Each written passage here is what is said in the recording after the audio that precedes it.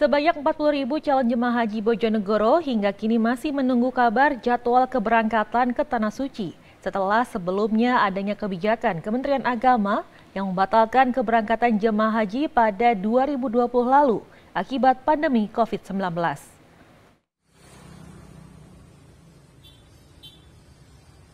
Kantor Kementerian Agama Kemenak Kabupaten Bojonegoro hingga sampai saat ini masih belum menerima keputusan apakah tahun 2021 kuota haji untuk jemaah haji dari Bojonegoro bakal diberangkatkan.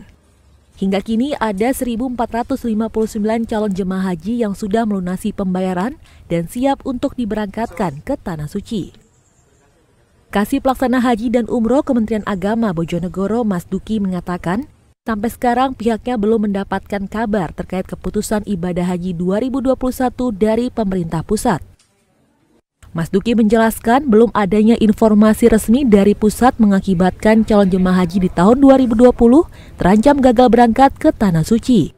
Akan tetapi Kemenak Bojonegoro telah melengkapi dokumen para calon jemaah haji jika sewaktu-waktu ada informasi keberangkatan.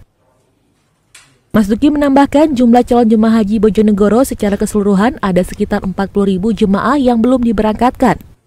Jumlah tersebut merupakan jemaah yang mendaftar pada bulan September dan Oktober tahun 2011.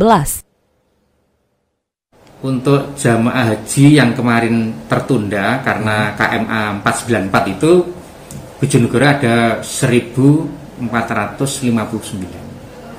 Sebetulnya yang yang dipanggil melunasi itu 1554 karena yang tidak mau melunasi karena beberapa alasan itu ada 95 orang.